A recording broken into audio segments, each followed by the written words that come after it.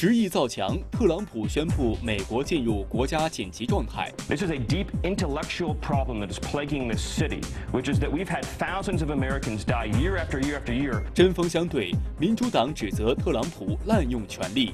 You know, it's really not even the best way to um, uh, fight the crisis. 国家紧急状态能否让特朗普如愿？分歧加剧，市场影响几何？央视财经评论稍后开评。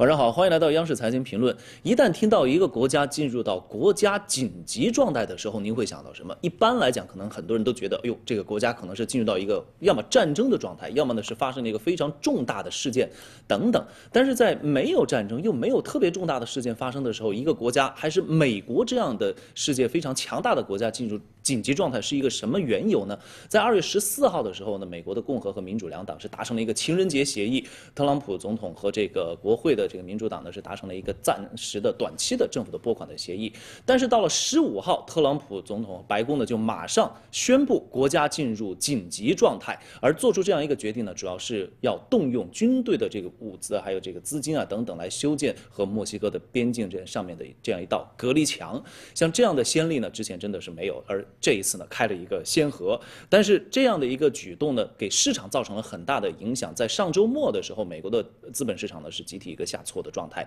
今天虽然是美国的假期，但是呢，市场和整个这个媒介，包括国会等等，依然在针对这个事情展开热议。而且这个墙到底要修饰是一个什么样的状态呢？接下来我们先通过一个小片来了解一下这场依然还在进行的国家紧急状态的论战和这个墙到底长什么样。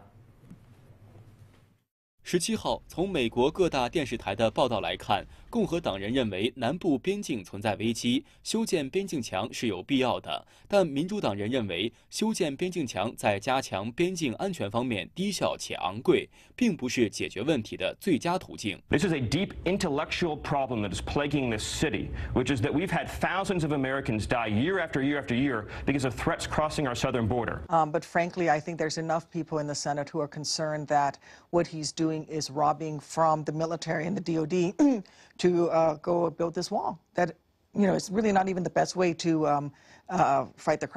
此外，美国代理国防部长沙纳汉表示，目前尚未确定美墨边境墙在军事上的必要性，也没有确定国防部可以为此动用多少资金。在此前的十四号，美国国会仅同意拨款约十四亿美元，用于在美墨边境指定地区新建约九十公里边境墙，与特朗普要求的五十七亿美元和超过三百公里边境墙相距甚远。不过，就在双方持续博弈的同时，美墨。边境墙的原型近日已经建造完毕。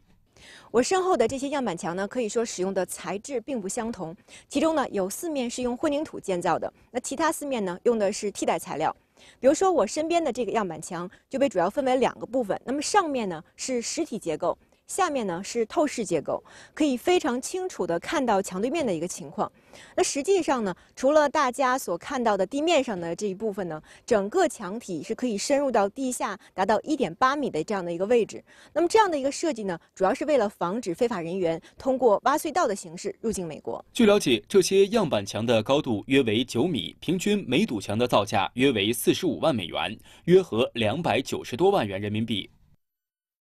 您看，我们央视记者这个实地打探，这个墙差不多也就九米高。但是在前两天，特朗普总统描述的是要让这个墙呢比珠穆朗玛峰更难攀登。显然，这也表达出他对于修建这座墙的这个决心。但是绕过国会宣布国家紧急状态，现在这个墙是不是真的能够修起来呢？这个拨款的这十四亿美元显然是不够。但通过这个国家紧急状态，再动用其他，比如说军费的开支，那又够不够呢？这样的一个绕开国会。执意修墙的行为，对于整个经济又会带来什么样的影响？今天晚上邀请到的两位和我们共同再来聚焦一下这个事件。一位是清华大学国家战略研究院资深研究员丁一凡先生，还有财经评论员万哲。啊，先问问两位啊，很多媒体报道说，十四号达成情人节协议，十五号白宫就宣布我要绕开你们，我还是要宣布这个紧急状态再来修墙，这样的一个做法是不是？感觉好像白宫还是依然要掌握更多的主动权，民主党现在好像没什么太多的牌可打了。嗯，基本上讲，应该在第一轮较量中间，就是造成了这个政府停摆，这个国会不批款，这个政府不能够使用使用这个公共预算。从这个解决这个危机上面呢，白宫应该说还是比国会更多了一点分儿，因为现在政府又重新运转了，而且特朗普开始造强了，得到了一些钱来开始造强，而且特朗普呢是能够使用这个紧急状态这种这种情况下。总统授予的特权，可以动用军队力量啊，动用特殊的财政啊，来继续他这个造强事业了。嗯，所以从这个角度上讲，呃，可以说特朗普应该还是占了一些上风。嗯，你看万哲，我们正刚才说他这个要把墙修的，甭管他怎么样，要比珠穆朗玛峰更难攀登。大家能够看得出来，这么困难，历史上最长时间的政府停摆都没能阻止这个白宫一定要坚持修墙这样的一个行动。你怎么来看待他表现出来的这种决心？我觉得他这决心用现在比较时兴的一句话说，就是承诺千万条，这个修墙是第一条。热词儿啊，对，确确实是这样的。而且呢，就是实际上我们看到他二月十四号与民主党达成了一个这个协议之后，二月十五号就提出说，哎，现在我要就是说提出这个紧急法案了。实际上呢，这个他在一月份的时候，当时就已经说过了，这也是我们看到他把修墙当做他最重要的承诺里面的一个手腕，就是他当时就说。如果我达不到我的目的，就拿不到足够的资金的话，我就会启动这个法案。但是，也许民主党当时没有意识到，说他说的是真的。那实际上，我们看到他当他就是他当时是觉得说修这个墙需要五十七亿。对，民主党的希望是达成这个协议，给了你十四亿以后，对三分之一，你就差不多大家都各退一步。但是呢，特朗普显然是显示出了更强的这种就是决心，所以呢，他在。就是你没有给足我钱的第二天，实际上就说我一月份不是跟你说过我的承诺吗？现在我就要把这个承诺也兑现，因此他马上就宣布说我们要有一个国家紧急状态。嗯，但是丁先生，您觉得到目前这个情况下，民主党好像没什么太多的牌可打了。那接下去还有没有，哪怕用另外一个说法的话，走程序的话，会走一个什么样的程序？还有没有牵制的可能？走程序也不是那么容易，因为这个虽然总统可以宣布这个紧急状态。紧急状态的话，这个给总统很多很多的权利，嗯，一百三十六项专属的权利，对，是这个，特别是什么，就是这个当年这个九幺幺袭击之后，布什总统曾经也用过这个紧急状态，嗯，用了紧急状态的权利的时候，当时后来在这种情况下通过了什么爱国法啊，什么东西，就是总统确实有很大的权利，然后在这种权利一旦使用的时候。呃，那还是别人很担心、很害怕的。嗯，我就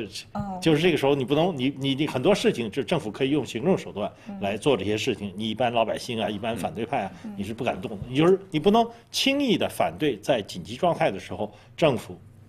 采取的一些决定。但是他在程序上，其实我也补充一下，他还是有一些方法的。一个呢，就是说国会虽然对于这个就是说其实监督能力不高，要三分之二投票就是说否决它才行。目前看来可能性不大。但另外一个呢，就是说在历史上这个法案是一九七六年通过的，但在此之前实际上就已经有这种情况出现。美国历史上唯一出现过一次，就是靠法律然后推翻了美就是美这个美国总统的这个行政的这个就是说紧急法案的命令，就是在一九五二年，当时杜鲁门总统在朝鲜战争期间就。说，哎，现在我们要把所有的钢铁厂啊都收归国有，以免到战争时期工会反对我们。那么之后呢，就是诉诸于诉诸于最高法院，最后是判这个总统是败诉的。因此，当时他所谓的这个紧急法案，就是实际上没有能够执行下去。所以我们也看到，在这一次，就是民主党或者是其他人，还是能够有其他的程序可走。对我看这个媒体报道，这个接下来的程序也确实很有是这样的一个走向，先。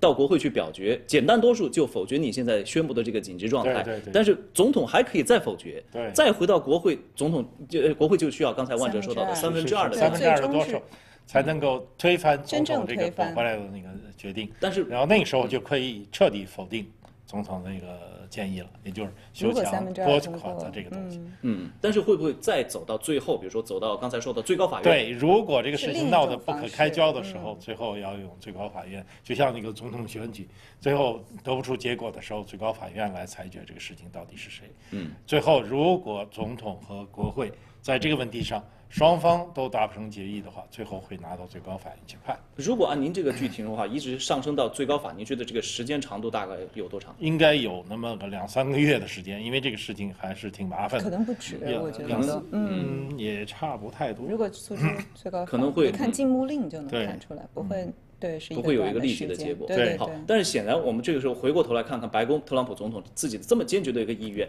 很多分析说这个是在为二零现在应该说就明年了，二零年的大选做准备。您觉得他现在在政治上的这个谋划，做这下这一步棋的主要的意图是什么？呃，政治上谋划肯定是现在这个，其实特朗普，呃，还是在努力的落实一些他竞选时候的诺言。呃，这个呢也包也也属于他这个美国优先的一部分，所以从这个角度上讲呢，呃，美国现在支持他做这些事情的人还是有，嗯，甚至民调有接近四成，对美国的这个是造墙的问题，但是他有那些铁杆粉丝对他的这些行为，包括造墙行为在内，是支持率很高的，所以在这种背景下呢，呃，特朗普可能想去更多的动员这些力量。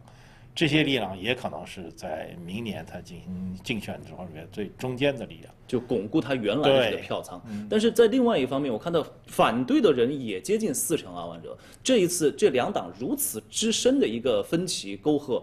在明年会给整个美国的这个包括大选会带来一个什么样的影响？我们其实看建强这件事儿就能看到哈，就是说它其实不是一个这个就是动因，而是一个结果。就是本来在在两党以及他们的这个铁杆粉丝之间，现在的撕裂就是比较严重的，就是分歧实际上是越来越大。所以呢，他目前现在看到在造墙上最后造成了这样的一个结果，其实本身就是这样的一个撕裂的结果。因此呢，我们就能够看到，无论是特朗普还是他就是对面的这个民主党，他们。都只在保护自己最铁杆的粉丝，因为他们发现目前来说，中间的这个选民可能相对来说不那么容易被吸引，以及越来越少。因此呢，有可能他们的这个做派会相对比较极端化。同时呢，他们包括就前面的关门啊，包括现在这个法案啊，或者将来是不是诉诸司法程序，他们都会做一件事儿，就是希望从宣传上让民众觉得说错不在我，而是在他。嗯，巩固一下自己的地盘，然后。尽量争取一下中间的选民吧。好，这是一个明年的谋划，但是更多的是大家观察这样一个坚定的修墙的一个行动，会对近期的市场，包括美国最近的这个经济产生什么样的影响？在一些美国刚刚公布的一系列的经济数据当中呢，其实有一些超乎预期的，但是也有大幅低于预期的。比如说，美国商务部刚刚公布的数据显示，二零一八年的十二月，美国的零售销售额，因为消费是美国经济最重要的支柱啊，零售的销售额环比下降了百分之。一点创下了零九年九月份以来的最大跌幅。我们来看，去年十二月，美国十三个主要零售类别中的十一类销售额都出现下滑，零售销售额环比下降百分之一点二，创下二零零九年九月以来的最大跌幅。受此影响，纽约联邦储备银行将美国今年第一季度的经济增速下调至百分之一点一。与此同时，美国劳工部发布的最新统计显示，进入二月以来，美国首次申领失业救济的人数也出现增加，这不禁让人担心美国经济增长态势是否存在变数。对此，有分析人士认为，由于十二月是圣诞假期销售季，零售数据出现大幅下滑是很不寻常的现象，并且这一数据也和私人部门的其他统计存在差异。不少分析人士和机构因此对美国商务部公布的零售数据的可靠性提出质疑。美国全国零售商联合会表示，政府停摆导致统计延迟，数据准确性降低，需待数据修正后才能更好进行判断。据了解，由于政府停摆，美国2018年第四季度国内生产总值数据和今年一月零售销售额数据至今仍未发布。美国的这个十二月份的销售的数据，就类似于咱们国内的这个春节期间销售数据，是非常备受关注的一个月。但是出现这么大幅度的一个下滑，所以在上周五的时候，丁先生，美国的市场也是出现了。大跌，这样的一个消息出来，修墙马上在市场上引起这样的一个连锁的反应，或者市场的担忧吧？您觉得市场到底是在担忧什么？这个修墙有那么直接的影响吗？其实我认为修墙本身对这个行情吧，不应该有这么大的冲击。嗯，因为修墙毕竟是一个比较小的那个这个数量数目，呃，而且呢，修墙总的来说还要动用那个劳动力啊什么。对促进这个短期就业还应该说是一个利好的因素。所以从这个角度上不是不是太大影响。但是修墙呢，到底还是涉及到这个公共开支。现在美国公共开支的困境是越来越大，是因为这个特朗普上台做的第一个决定就是减税。你减少了财政收入，那你应该减少财政开支。相反，他做的另外几个决定，包括这个扩大军费啦，现在又要修墙啦，什么？这个修墙虽然说数目不太大，这个五十多亿美元，但是据说是去年一年他对中国的进口关税提高了百分之十，他最后弄来的结果也是他从这个额这个额外的关税上涨里边得到的。额外的这个财政收入也不过是五六十亿美元，还是入不敷出的。对，所以从这个角度上讲，这个这个造墙这个事儿吧，会使他的这个公共财政更困难，就债升高。他的这个公共财政现在非常困难，因为特朗普上台以来，他每年的这个财政支出，也就是这个亏空，呃，已经增加到了七千亿到八千亿美元了。呃，再过两年，美国这个呃国会的预算局对这个美国财政未来开支这个赤字的估计，做的做的演算是未来几年会每年有一万亿美元的新增债务问题更严重。它到现在已经二十一万亿元了，如果每年再新增一万亿的话，那么很快美国就变成前几年希腊的样子。那就很危险。但是你看，万哲，除了这一方面债务方面的影响啊，市场还有一个担心，就是怕混乱。您看，刚才我们提到的是美国十二月份的零售是大幅低于预期，零九年年以来最大的这个跌幅。但是您看，之前就是在政府停摆之后公布的几个预期，我们上次还在讨论，每一月份的非农的就业。是三十多万人，比预期多了几乎一倍。然后制造业 PMI 是百分之五十六点六，在一个很明显的高速增长的区间，都超乎想象。但是现在又出了一个零售完全低乎想象很多的，包括现在这个时间点本应该已经公布的一八年第四季度的美国的经济增长率，现在还没公布。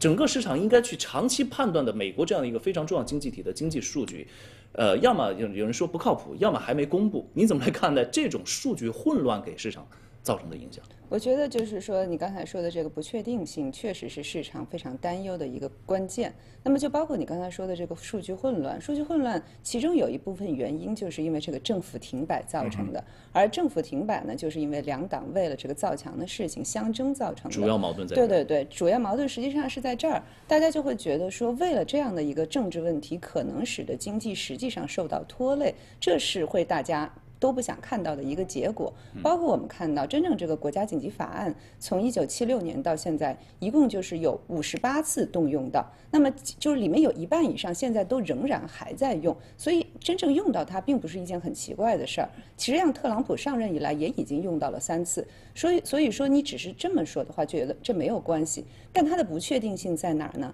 这是美国历史上第一次总统动用这个这个法案的时候啊，是为了这个国会没有开出的这个预算的开支而动用这个法案的，就是他这一次希望说动用国防的这个预算来帮助他修墙，这个是以前从来没有过的。所以它这个不确定性实际上是在于说，当他钻了自己这个，比如说机制当中的一些漏洞的时候，其余的人人也会为之愕然，觉得将来对是不是总统的权力会无限的扩大，使得我们的这个行政系统产生一定的混乱，从而损害我们的经济呢？但是咱们这是最大问题啊。回到这个市场或者资本市场的这个角度上来吧，这么强的一种不确定性，增加这么多的风险，那。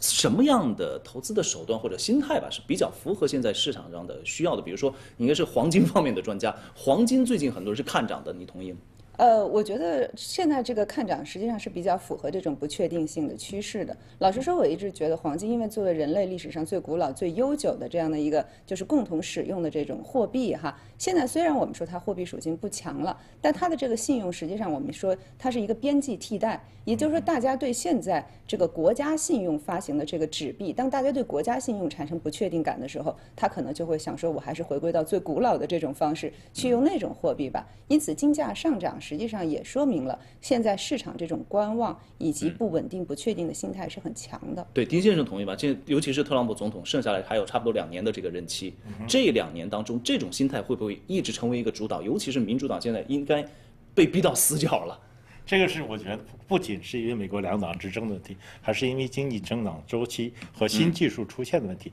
什么情况下黄金价格下跌？就是说，当你的资本市场有很多很多这个特别好的投资品，当你的经济增长非常旺盛，然后呢，这个时候有很多企业的股票会升值，有很多企业的债券会增值。在这种情况下，就是可以预期、可以预见的情况下，那个时候大家都会去。抢投那些资产，然后这个时候黄金价格会下跌。可是现在正好相反，就是在我们之前的一段时间内，曾经是互联网特别旺盛的时候，曾经是新技术特别旺盛的时代，然后那个时候资金大量都流向那些市场，然后黄金市场当时是被低估了，大家都觉得没有什么必要去买黄金，然后。这个黄金价格也是比较低，然后最近呢，正好整个经济增长东西，全球的经济增长东西正好反过来了。因为现在呢，确实你找不着特别好的地方去投资，你看不到特别好的技术，除了中国的五 G 技术以外，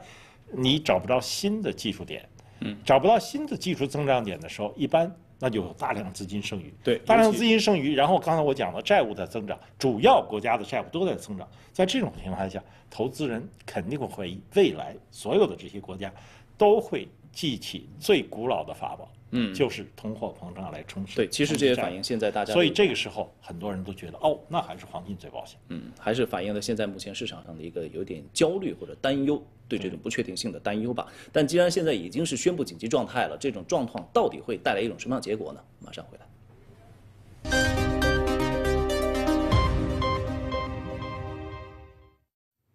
感谢继续关注央视财经评论。所以二位，现在美国这个紧急状态是真的紧急吗？修墙有用吗？您怎么看？其实我觉得墙修的再高也挡不住移民，是因为美国实际上是需要这些墨西哥的移民来帮助他这些大农业什么的。每年都是，呃，上面的这个国土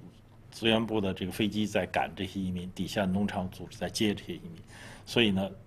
这样修墙最后的结果是使得他的公共债务会越来越重，最后的结果会拖垮经济。对，挡不住移民。嗯，万哲我觉得就是说，实际上这个修墙之争啊，它的核心并不在墙，而是对美国行政机制的一个考验。因为我们能够看到，就是说墙即使真的修好了，那它这个尤其是经济的目的到底能不能达到呢？可能是不能达到的。在这次我们看到他们争的就是这个五十七亿美元嘛，但实际上我们要看到，就是在美国移民在二零一四年，它对于经济增长的贡献就超过了一点三万亿，而非法移民现在每一年仅仅向州和联邦交的税就已经是五十七亿的两倍了。所以实际上他们还包括别的消费啊，然后税啊等等，他们的贡献是很大的。而实际上他们到了美国以后呢，并不是说完全是一个替代作用，而是一个互补作用。我们看到北卡就是说前两年它在这个经济不好的时候。那么有一些农场需要工人，那么实际上本土出生的美国人愿意去的，就是有几千个工作岗位，只有二百多个人去应征，最后呢，第一天上班的只有一百多个人。因此，在这种状况下，会发现这些非法移民进来了以后啊，实际上是充实了他们的工作岗位，而且使得他整体的薪资是提高了，而不是降低了。因此，在这种状况下，大家其实觉得最想质疑的是说，我们的这个行政制度，或者说整个机制，比如说政府关门啊，现在这个紧急法案啊，是不是得到了合理的利用？在这种状况下，如果得到合理。